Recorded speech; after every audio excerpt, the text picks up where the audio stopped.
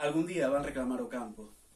E tras retirar os balados e erguer a grama, a maquinaria arrasará todo o que somos hoxe. Mesmo os teus dribles, perfectos como unha asinatura, van partillar o seu percurso cos fantasmas do pasado.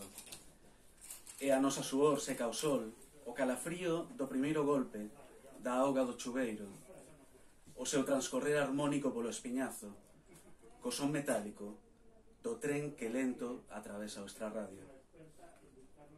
Gardadas para sempre na memoria imposible do barrio, as gargalladas dos compañeiros, xunto coa raiva dos varóns de mediana idade ante o penalti injusto, o suspiro de sorpresa das nais e o suspiro de paixón das mozas apartadas do terreo. E van tirar os muros, e con eles caerán os murais nos que suliñamos unha ira máis antiga que a nos mesmos máis pisada, que o cemento que asfaltou, as últimas rúas da baixada, onde nos cruzamos, co camiño imperial e co mundo. Escollo roupa nova para ir verte. Camiñamos a cidade, ombreiro con ombreiro. Non lonxe, bastante preto. E en cada terrazo paso o troco. Toco sen querer a túa mão. Teño o teu corpo diante, ao outro lado da mesa, e falas, e rís, e disme cousas para facerme rir. Bebo e albisco con coidado o bordo da tatuaxe, que sai por baixo da camisa. É unha frecha ou é unha áncora? Cruzamos xente que coñeces, saudas cun aceno, tes un sorriso salvaxe que che muda a cara.